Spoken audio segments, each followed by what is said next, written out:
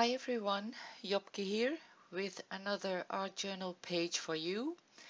And this time I'm using some paper from a, a, a, magazine I had, quite a thick magazine which had thick uh, pages. And I just cut out two of them and glued them together. And um, they are perfect for a page. So that's what I'm using today and the first thing I did was sticking down some pieces of medical tape.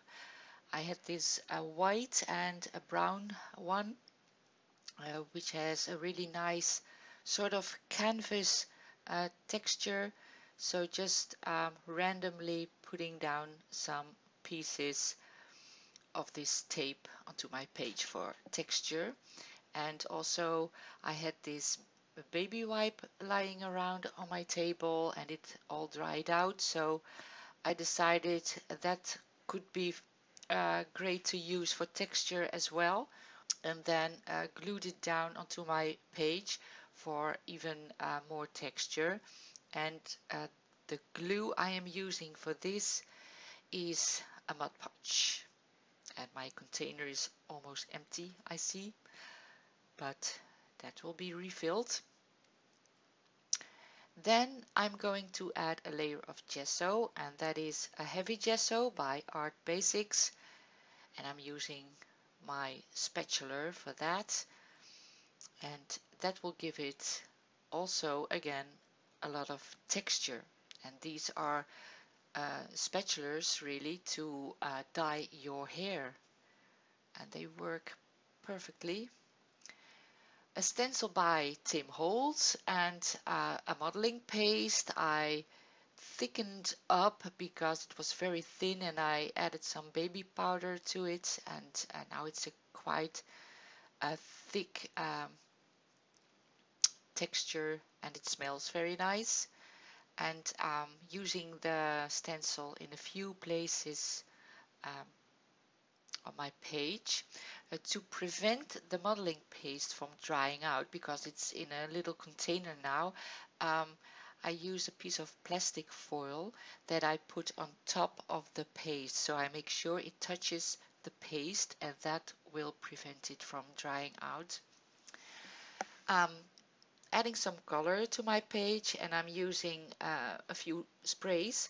And um, just wanted to have a very light layer of color, a subtle layer of color. So I, I use the tube from the bottle and I'm spraying a bit and also um, using water to make it run and move on the page and every now and then when it's too wet I uh, use a paper towel to uh, remove uh, some of it and I'm using my fingers as well to uh, uh, smear it out a bit. So it will all have a very nice uh, light uh, color. And using the same uh, spray for splattering a bit. And then uh, this is um, these are some stamps I bought at Action for you Dutch people um, and I'm using the archival ink the color coffee to stamp some butterflies onto my page and I use this big one a couple of times and I also have a small butterfly that I use as well. This is um, the Dylusions spray and I used this spray to make the spray you see on the right hand um, because the Dylusion sprays are water soluble and they react with anything wet I tried to make uh, this a permanent spray and that kind of worked. Uh, what you add to that is um, Mod Podge or an art or gel medium and that will make it a lot more permanent than it is um, as a Dylusion spray because that will react with anything wet even after drying for a very long time and the one I made now is uh, sort of permanent. Um, you need to try very hard to make it run, so uh, that's a good thing. Um, just use some water, uh, some gel medium or Mod Podge, and a few uh, drops of the ink, and then it it uh, will be a permanent spray. But you can find a lot of uh, videos about that on YouTube. So what I did with the Dylusions, I used it with a little brush and some water to color the stemmed butterflies. And now I am um, using these stickers, deciding uh, which ones that I want to use. And um, they are 3D stickers. And I'm using these two because uh, color wise they uh, uh, fit the page best. And just drawing in some antennas with my micron pen.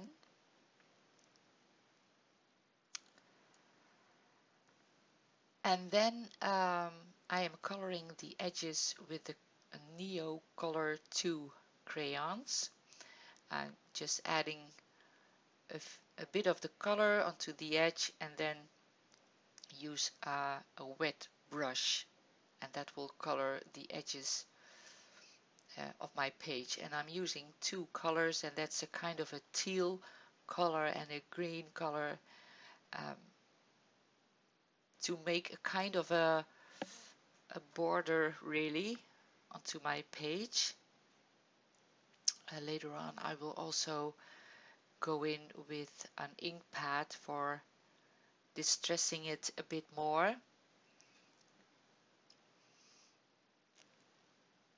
Um, again, some tape, and this is again a fabric tape. Um, I thought the pattern would, uh, would look very nice uh, to my page, so I just uh, cut down a few pieces and tear it in half to give my uh, page a few more accents of uh, color and pattern.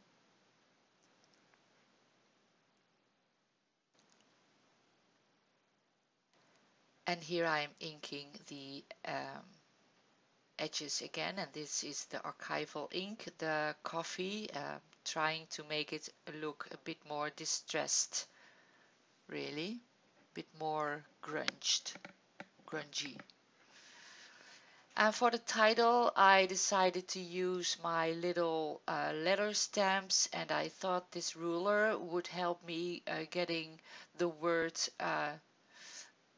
uh, uh onto my page in a straight line, but uh, that immediately went wrong with the second letter, so I decided to leave that and just freestyling on putting uh, the word down and that is simplify, simplify. and also uh, there was a little tiny heart uh, that I used as well and for this because there was black in the butterflies I decided to use my uh, black StazOn ink to balancing balancing it all out and uh, also uh, make some black splatters with an acrylic homemade spray paint. And then I'm adding the date also with the StazOn and uh, signing my page. And then I think it's ready. So I hope you've enjoyed watching the process of uh, this art journal page and well hope to see you again very soon guys. Have a great day. Bye bye.